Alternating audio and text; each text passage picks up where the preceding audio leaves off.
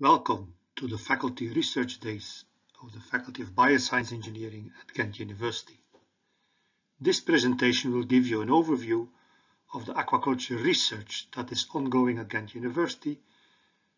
Aquaculture research is mainly focused on live food and health control in larviculture.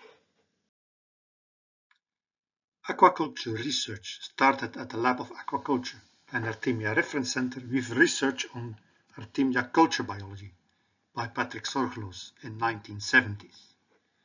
This research got recognized by FAO and upon its suggestion, the Artemia Reference Center was established. In 2007, many more labs at Ghent University got interested in aquaculture research, facilitating the establishment of the UGent Aquaculture R&D Consortium. In 2011, a Business Development Center was established now called Blue Ghent. At the Lab of Aquaculture and Artemia Reference Center, we maintain some research lines, either related to larviculture or offshore and nearshore extractive aquaculture. In relation to larviculture, research lines on live food are maintained, as well as a research line on health management in larviculture. Let's look first at live food. Not surprisingly, being the ARC, a lot of research on live food relates to Artemia. At the ARC, but also in collaboration with many partners in the Global South, we work on developing protocols for the sustainable production of Artemia. In addition, protocols for optimized use of the scarce resource of Artemia cysts are being developed, as well as alternative applications of Artemia. Finally, apart from Artemia, some research is performed on alternative live food organisms and microdiets as start feed in larviculture. Artemia cysts being a relative scarce resource, the effective and efficient utilization is of prime importance. Here you can see Artemia just hatched out of a regular cyst at the left hand side and a decapsulated cyst in the middle in the so-called umbrella stage. Decapsulated cysts are also used directly as feed for certain applications. On the right hand side you can see our technician Chris who is performing a standardized Artemia hatching protocol, allowing to establish the quality product. You can see the hatched Artemia locally concentrated at the tip of the input being collected. In this slide, two examples are presented of recent papers on Artemia research. The first paper, in collaboration with Professor Marleen De Troch from the Faculty of Science at Ghent University, we reported on the use of archaebacteria as feed for Artemia. The second paper is a review paper on the practice of Artemia pond culture in solar salt ponds, as this is being done in the global south, such as Vietnam. As you will see also later on in the presentation, we use Artemia as a model organism in the research on host microbial interactions in crustacea. To facilitate the research and to bring this research to the next level, we invested in sequencing the whole genome of an inbred line of Artemia. This research was performed in collabora collaboration with the Flemish Institute for Biotechnology, the VIB. Artemia has more or less the same size as the human genome. The paper of this research is currently under review and we hope to make the Artemia sequence public in the coming month. Another research line relates to health management in larviculture. Negative host microbial interactions in larviculture phase are known to be responsible for the lack of reproducibility in larvae production, both at lab scale and industrial scale. In the past, these problems have been tackled making use of antibiotics. At the ARC, we are focusing on developing methods that would allow to steer away from the use of antibiotics in larvae culture. Studying host microbial interactions in aquaculture is notoriously complicated because the microbial communities in the culture of larvae are developing in a stochastic way, meaning that in every other experiment, the standing microbial community is anticipated to be different in composition. This results in lack of reproducibility in experiments. To tackle this experimental problem, gnotobiotic experimental systems have been developed for, for instance, sea bass and tilapia.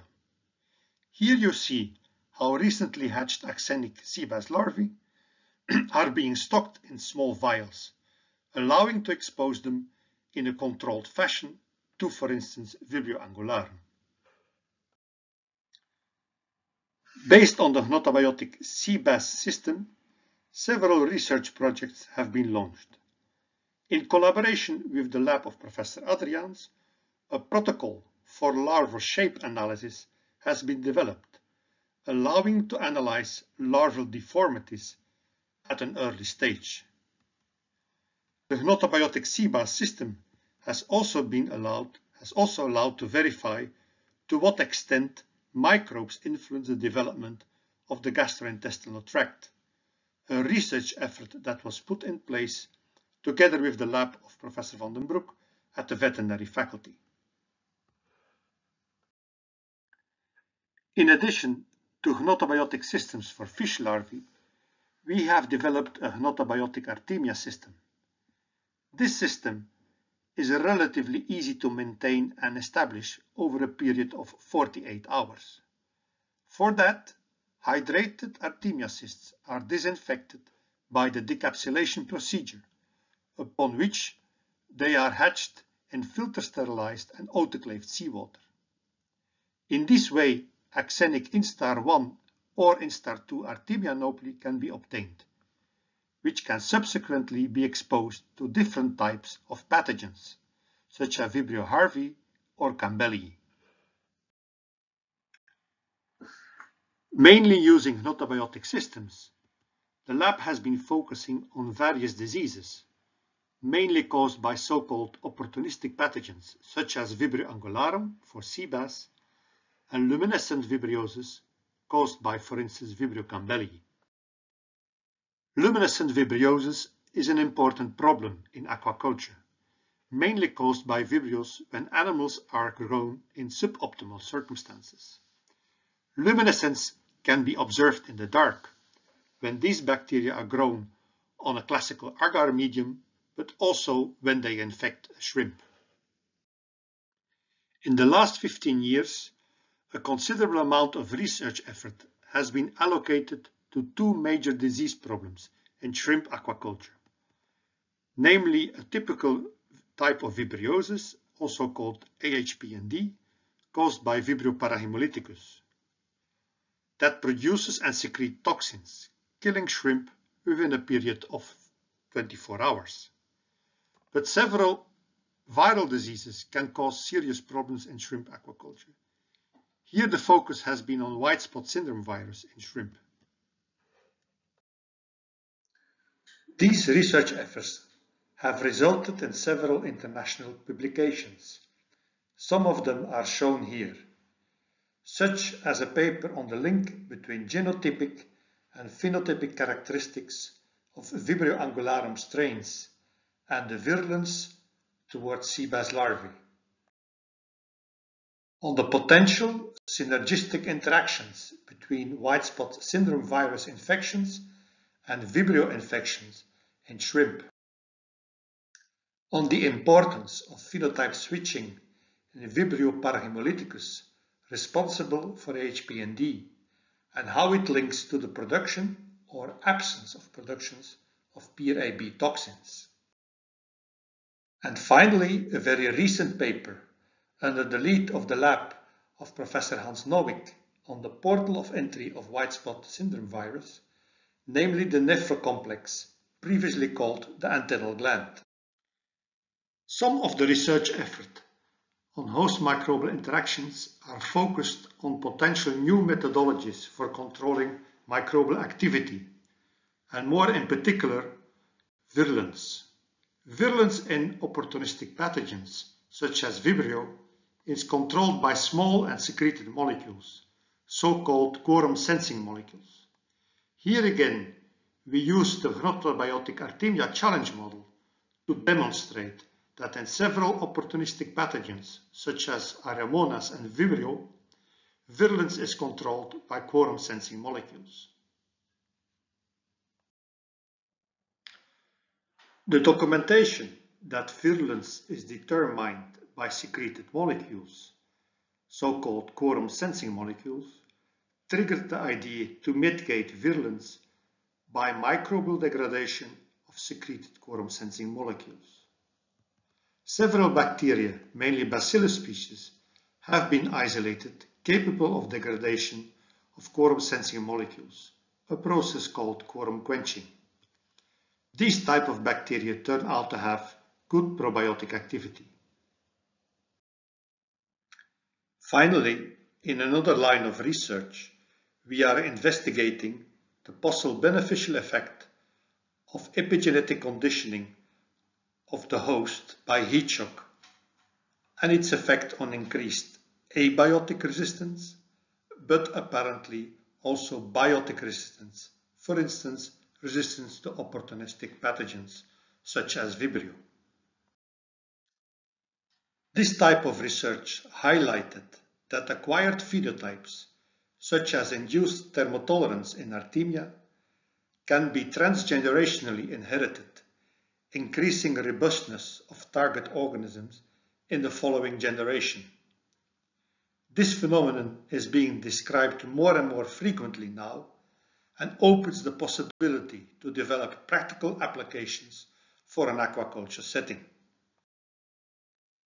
Finally, I like to illustrate the ongoing research at the lab in relation to offshore and nearshore extractive aquaculture.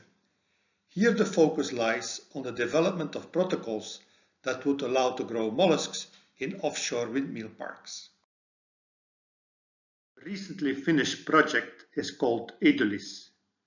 It has evaluated the possibility of offshore mussel culture in wind farms at the Belgian coast. This project is a collaboration between Ghent University, the Institute for Agriculture, Fisheries and Food Research, five private partners, namely Belwind, Brevisco C-Power, Colruyt Group and DEME Group, and a third research partner, OD Natural Environment. The project EDULIS studies the feasibility of mussel culture in offshore wind farms 30 kilometers off the Belgian coast. In May 2017, a first experimental mussel culture system was installed in the C-Power wind farm at this location, mussel seed capture and further mussel growth is being monitored as they are growing on purposely designed long lines. Regular mussel sampling results are being linked to the prevailing environmental factors to document the mussel growth. Many thanks for watching and listening to this presentation. Background information can be found at this website or in the links that you can find on this website. Many thanks for your attention.